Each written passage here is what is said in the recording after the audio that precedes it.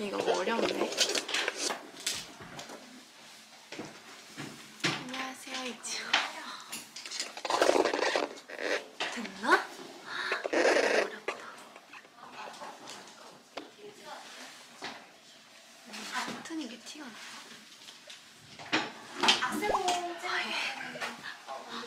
아, 어려워, 이거. 구석 인터뷰. 유나의 구석 인터뷰. 됐다, 됐다. 네, 유나입니다. 안녕. 저희 있지가 로꼬 막 주차인데요. 오늘은 음악 중심에 왔어요. 그래서 내일 인기가요 하면 로꼬 활동을 마무리하게 돼요. 그래서 굉장히 지금 기분이 싱숭생숭한데 우선은 이번 첫 정규 앨범 타이틀곡 로꼬를 사랑해주신 많은 우리 미찌한테 너무너무 감사하다고 얘기하고 싶고요.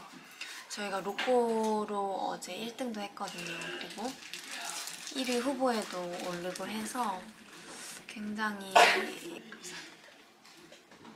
영통 팬싸 하는데 미찌들한테 좋은 말을 너무 많이 들었거든요.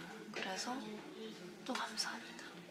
저는 이제 최선을 다한다고 최선을 다했는데 미찌가 예쁘게 봐주고 또 그만큼 알아준 것 같아서 너무너무 다행이라는 생각이 제일 먼저 들었고 앞으로의 활동에 있어서도 훨씬 더 자신감을 가지고 할 수 있을 것 같은 느낌?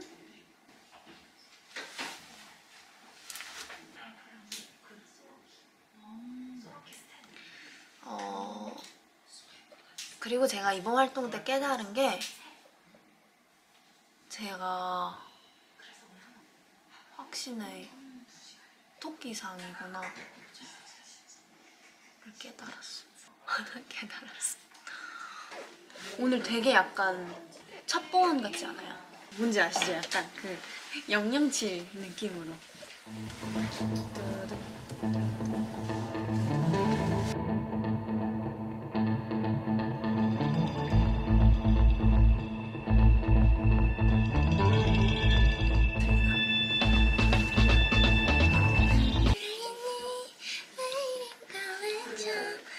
저희 이제 스와이프로 한 주 더 활동이 남았는데요. 스와이프도 한번 기깔나게 해보도록 하겠습니다. 화이팅! 안녕. 미지 사랑해.